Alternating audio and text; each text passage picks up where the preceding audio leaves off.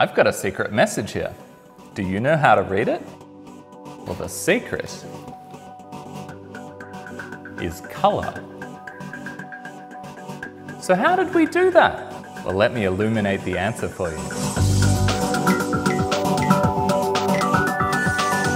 We need light to see. White light, like sunlight, is made up of all the colors of the rainbow. And when we see a colored object, we see that color because it's the color that is reflected to our eyes, while the other colors are absorbed. So my mug here looks red, right? That's because the other colors, the yellow, green, blue, are absorbed, while the red light is reflected into your eyes, and you see red. Now, clear things, like my goggles, they let through all the different colors of light.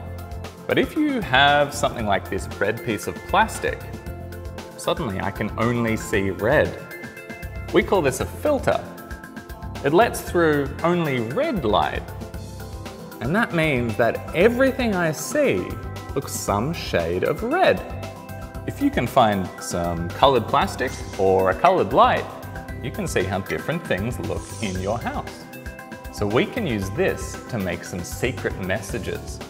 All you need is some white paper some colored pencils or textas or crayons, and some colored plastic or a colored light. I'm going to write my secret message in green and blue and purple. Secret message. And then I'm going to put lots of red and yellow and pink letters around it to make it hard to read. Can you tell what that says? I can't. Now, if I look at it through my red filter, the green and blue and purple letters all look black. But the red and yellow and pink all look red, and so does the white paper, so you can't see those letters at all. So if I look at my red mug through a blue filter, the mug reflects red light, but the filter only lets through blue light. So no light can get through at all, and the mug looks black. You can even use this way to hide colors to do some fun animation. I'm going to draw myself doing one of my cool dance moves in blue.